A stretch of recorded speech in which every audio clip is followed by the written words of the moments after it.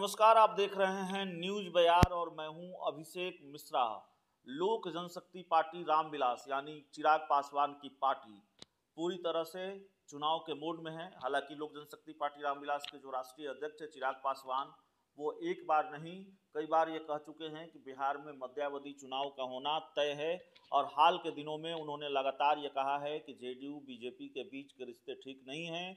दोनों दलों के बीच जिस तरह से टकराव सामने आ रहा है, उससे ये साफ़ है कि एनडीए में सब कुछ ठीक नहीं चल रहा है और बिहार मध्यावधि चुनाव की ओर बढ़ रहा है। हालाँकि चिराग पासवान ने यह भी कहा कि सत्ता के लिए दोनों एक, दोनों दल एक दूसरे के साथ जुड़े हुए हैं, इतनी लड़ाई झगड़े के बावजूद, इतने मतभेदों के बावजूद।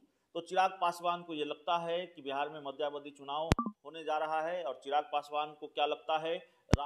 जिस तरीके से बिहार की राजनीति का घटनाक्रम रहा है और जिस, कई बार ये चीज़, ऐसी चीज़ें सामने आती हैं, उससे ये लगता है कि वाकई बिहार मध्यावधि चुनाव की तरफ़ बढ़ रहा है। तो चिराग पासवान और उनकी पार्टी मध्यावधि चुनाव की तैयारी में जुटी हुई है। पार्टी के दफ्तर में या फिर जो चिराग पासवान का घर है पटना के श्री कृष्णापुरी में, लगातार बैठकों का दौर जारी है। इस वक्त जो खबर सामने आ रही है वो जानकारी ये निकल कर सामने आ रही है कि इस वक्त भी एक बैठक चल रही है जो दोपहर एक बजे से शुरू हुई है।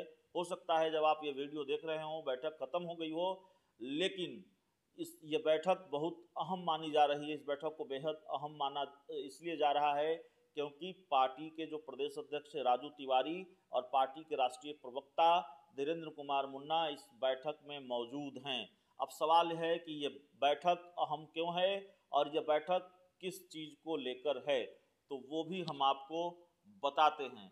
पार्टी सूत्रों के हवाले से हमारे पास जो जानकारी निकल कर सामने आई, हमारे पास जो जानकारी मिली, वो जानकारी ये है कि इस बैठक में पार्टी के जितने प्रवक्ता हैं, उनका रिपोर्ट कार्ड तैयार हो रहा है। पार्टी के जितने प्रवक्ता हैं, उनका परफॉर्मेंस, उनके परफॉर्मेंस की समीक्षा, उनके प्रदर्शन की समीक्षा की जा रही है। और उसके बाद वो जिनका परफॉर्मेंस ठीक नहीं है, जो नॉन परफॉर्मिंग स्पोक पर्सन है, यानी खराब प्रदर्शन वाले जो प्रवक्ता हैं, उन पर गाज गिर सकती है। उनका डिमोशन हो सकता है, या उनको कोई दूसरी सज़ा मिल सकती है। ये जानकारी निकल कर सामने आ रही है। तो लगातार बैठकें चल रही हैं अलग अलग प्रकोष्ठों की, राष्ट्रीय कार्य समिति की बैठक दो दिन पहले हुई कल पटना में मिलन समारोह हुआ तो लगातार एक्शन मोड में है चिराग पासवान की पार्टी और इस वक्त भी एक अहम बैठक जिसकी जानकारी हमने आपको बताई है।